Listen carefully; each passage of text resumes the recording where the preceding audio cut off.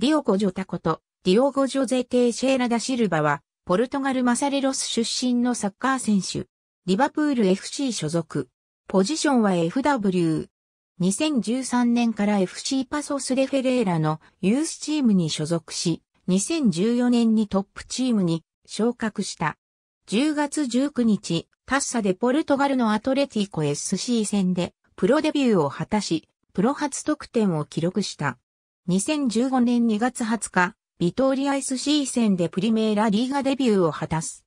5月17日、アカデミカコインブラ戦で2得点を記録し、リーグ戦初得点を記録。この試合で、クラブのリーグ戦での最年少得点記録を更新した。2016年3月14日、2015から16シーズン終了後にスペインのアトレティコ・マドリードに5年契約で移籍することが決定。2016年8月26日、FC ポルトへレンタル移籍。2200万ユーロでの買取が可能となっている。27試合8得点を記録したものの高額な金額がネックとなり買取オプションは行使されなかった。2017年7月、イングランドチャンピオンシップのウルバーハンプトンワンダラーズ FC へレンタル移籍。2018年1月30日、ウルバーハンプトンが買取オプションを行使し完全移籍を果たした。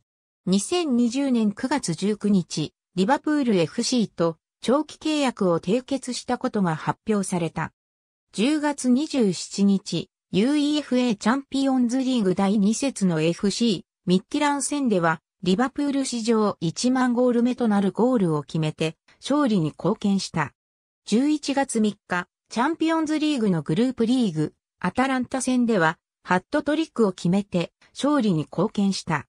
11月22日、第9節、首位レスターとの対戦では4戦連続となるゴールを決めて勝利、クラブ新記録となるホームゲーム64戦無敗記録に貢献した。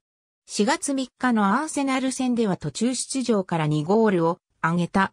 ポルトガル代表として各年代でプレーした。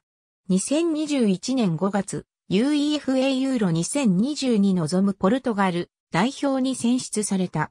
グループリーグ第2試合のドイツ代表戦で1ゴール、1アシストを決めたが、試合は2から4で敗れた。ありがとうございます。